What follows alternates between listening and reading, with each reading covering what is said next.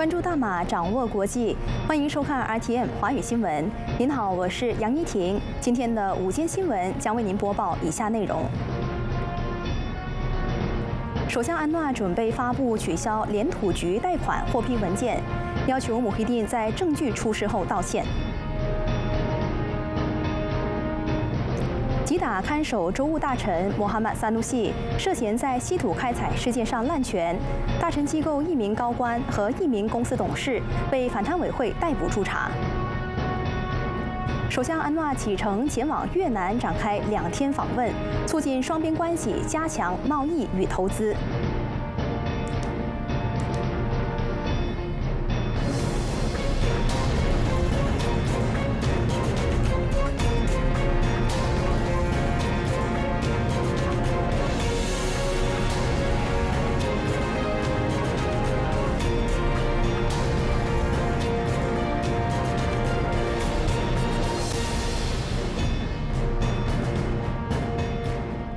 前首相丹斯里穆希丁针对注销联土局肯殖民数十亿令吉债务一事，向首相大杜斯里安纳发出律师信，要求首相道歉。首相表示已准备好提供证据，证明他已经批准取消联土局肯殖民高达八十三亿令吉贷款，而有关文件会在今天交给财政部秘书长达杜约翰·马穆。Tak, tak payah 24 jam, 12 jam saya boleh. Memang saya sign 27 hari bulan. Hmm, nampak dia tak buat kerja, tak tahu. Uh, you cabar begitu, baik saya nak, kalau saya bertunjuk bukti saya sign, uh, saya, dia kena minta maaf. Okey? Uh, pada 20, 20, saya sign pada 27 hari bulan, saya ingat. Dia harus minta maaf. Senang dia kena tuduh. 27 bulan uh, Jun. Ini Julai ya, Jun. 27 Jun, uh, 990 juta. Part of the payment. Tapi ini masalah orang politik. Ini dia senang je tuduh bohong. Kemudian baru dia cabar minta fakta.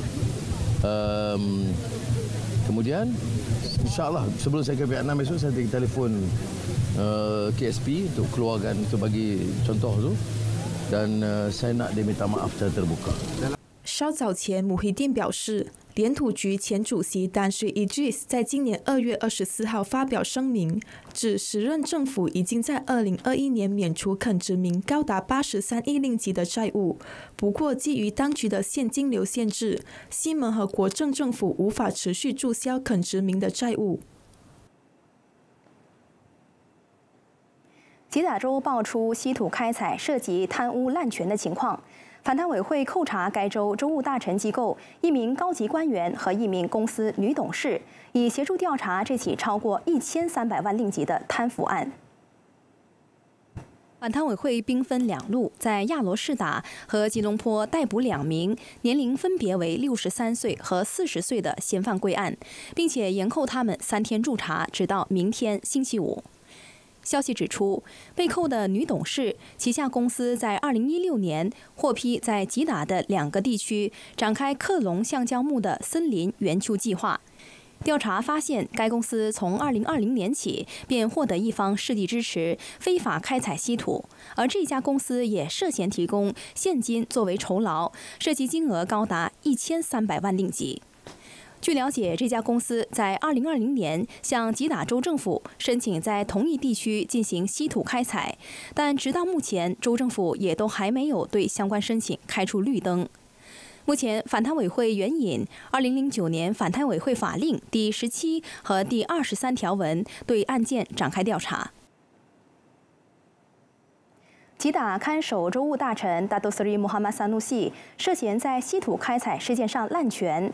内政部长达多斯里塞夫丁指出，吉打州务大臣机构是知道西县的五级恩冈森林保护区发生大规模的稀土盗窃事件，这是因为该机构聘请了两名中国公民的专家对该地区的稀土进行研究。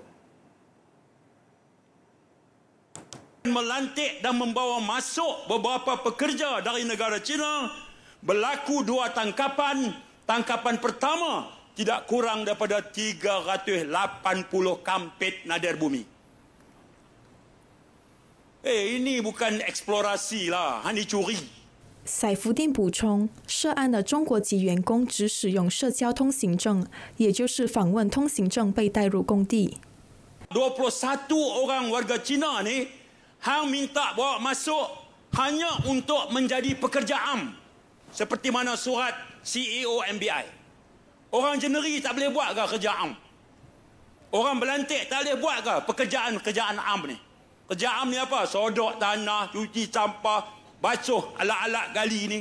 本月十五号，赛福定在吉打州举办的团结政府竞选机制推荐礼上揭露，吉打土地及矿务局在去年底向吉打州务大成机构发出五十万令吉的罚单，因该机构涉及在西线盗采稀土。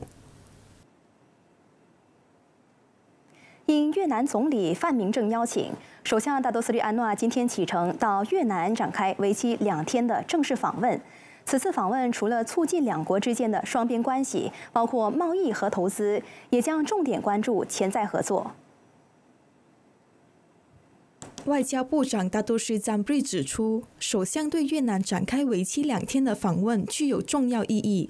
越南是我国全球第十二大贸易伙伴，以及东盟国家中第四大贸易伙伴。首相和代表团在河内总统府受到正式欢迎。此外，首相在访问期间也将礼节性拜访越南主要领袖，包括国家主席武文赏和范明正等领导人。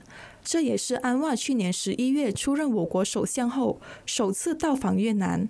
Lawatan uh, yang amat berhormat ini adalah juga sebagai uh, pengiktirafan terhadap kerjasama dan hubungan erat antara uh, Malaysia dan Vietnam uh, sejak lima dekad yang lalu. Ketika lawatan yang amat berhormat nanti adalah dijangkakan uh, beberapa pertemuan-pertemuan penting akan diadakan yang amat berhormat uh, akan uh, menyaksikan pemeteraian kerjasama di antara National Chambers of Commerce and Industry of Malaysia atau NCCIM dan Vietnam Chambers of Commerce and Industry. Vietnam adalah uh, negara yang uh, penting bagi bagi Malaysia. Tentunya ia mempunyai uh, signifikan hubungan dagang uh, dan juga hubungan budaya. 此外，在两天的行程中，首相也将见证大马全国总商会和越南工商会签署合作备忘录，预计能进一步促进马越两国的双边合作，有利于两国经济社会发展，并且造福人民。 早前，滨州供水机构建议效仿邻国新加坡，在滨城采用海水淡化技术。滨城看守首长曹冠友表示，州政府将会研究这项技术，旨在解决滨城未来面对的原水供应需求。不过，基于海水淡化技术的成本高昂，因此曹冠友也说，该技术将会作为最后的考量方案。Itu adalah option yang terakhir sebab kos dia amat tinggi dan kalau kos dia tinggi maka kos itu perlu di uh, serahkan kepada pengguna pula. Eh? Yang ini memang satu uh, keputusan yang uh, akan menjejaskan uh, rakyat hmm. memandangkan negeri Pulau Pinang pada kini merupakan negeri yang mempunyai tarif air yang paling rendah 另外，曹官友也透露，滨城二零三零愿景整体战略倡议目前的进程已经达到百分之四十七，共有二百一十个项目和计划已经完成或进行中。而滨州政府当下最关注的是解决滨州人民的房屋问题。无论如何有关水工方面的问题曹官有补充。州政府在研究海水淡化技术的同时也需要完成几个正在实施的项目包括建设数个新的滤水厂。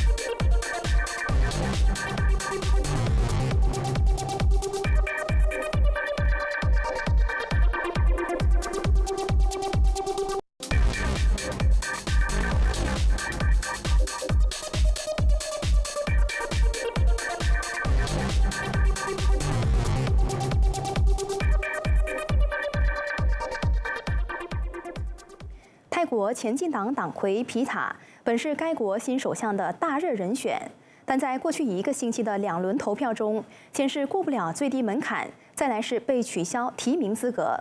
眼见这位民选首相被踢出局，有前进党的支持者到国会大厦外示威抗议。消息指出，与前进党组成八党联盟的卫泰党，除了会接棒推举首相人选，还准备组成排除前进党的新联盟。当中包含来自现任执政联盟的政党。泰国五月举行的全国大选，年轻手头族的一票成了定生死的关键。渴望变天、绊倒军政府势力的年轻选民，最终成为让民主的两大在野党，也就是前进党和卫泰党，成为最大赢家。而四十二岁毕业于哈佛大学的皮塔是本次首相候选人当中学历最高的一位，也是大热人选。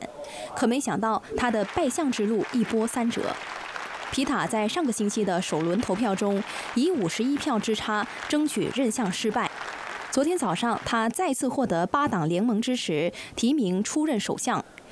不过，泰国宪法法院在另一边厢裁定暂停皮塔的国会议员资格。而在议会上，皮塔也遭到政治对手提出质疑。经过七小时的辩论后，议长让全体议员表决，最终得出的结果是三百九十五票比三百一十二票，确认皮塔不能在本次议会被提名两次。一如所料，有皮塔和前进党的支持者在国会大厦外示威，甚至哭泣和辱骂警员，质问选民投票的意义何在。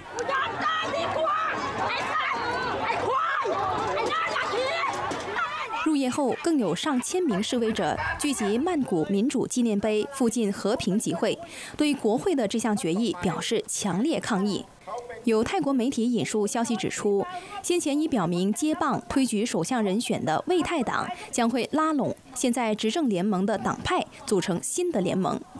鉴于大多数参议员表明，因为前进党提出修改冒犯君主法的政纲而不会支持该党，因此卫泰党组成的联合政府将会把前进党排除在外，意味着大胜的前进党最终反而没份入阁执政新政府。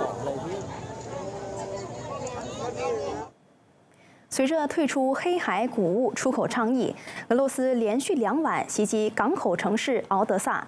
乌克兰指出，当地港口有六万吨粮食被炸毁。俄罗斯警告，今天起，任何驶往乌克兰黑海港口的船只都会被视为潜在军事目标。位于乌克兰南部黑海的敖德萨连续两晚被袭击。总统泽连斯基形容俄方攻击港口的行为为恐袭，并指这干扰了全球粮食运输。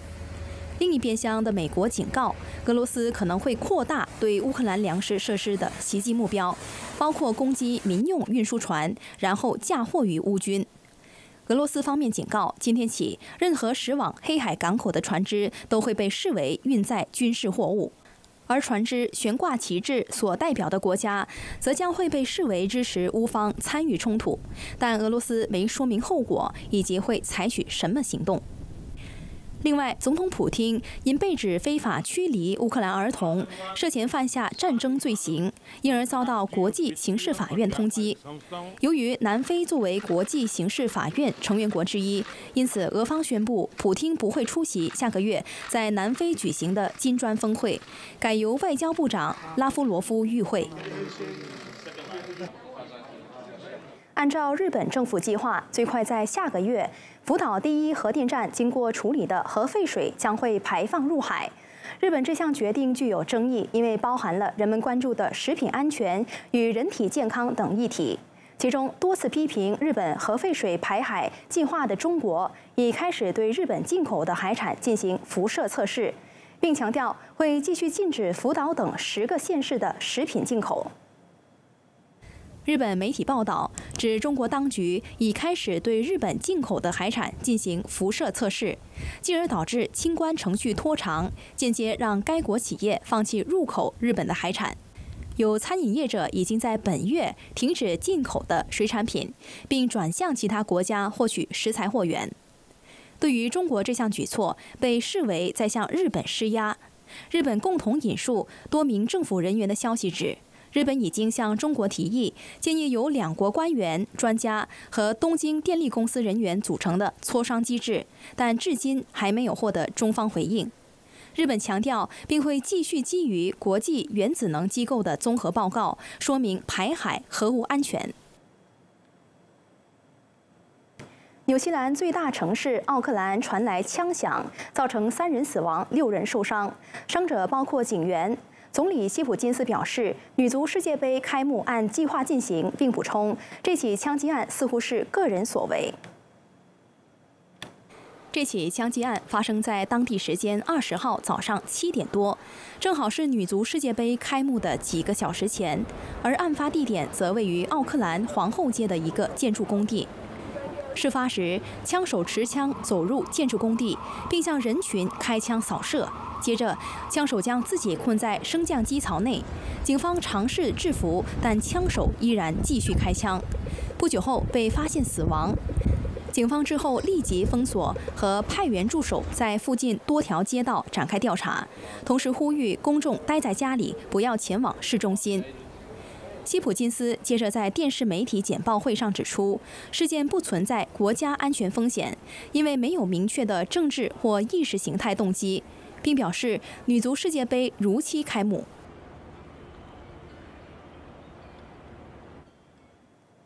位于南非东北部的约翰内斯堡发生爆炸事故，初步怀疑与气体泄漏有关，但经过调查，天然气管道完好无损。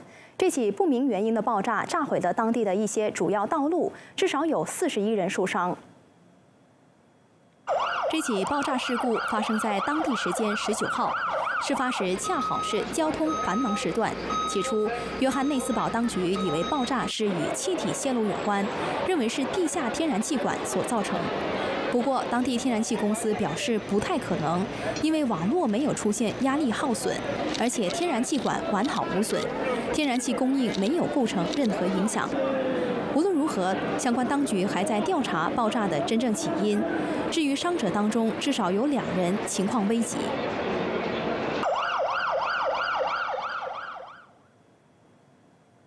好的，以上是午间新闻的所有内容。我是杨依婷，感谢收看。Salam Malaysia Madani，我们再会。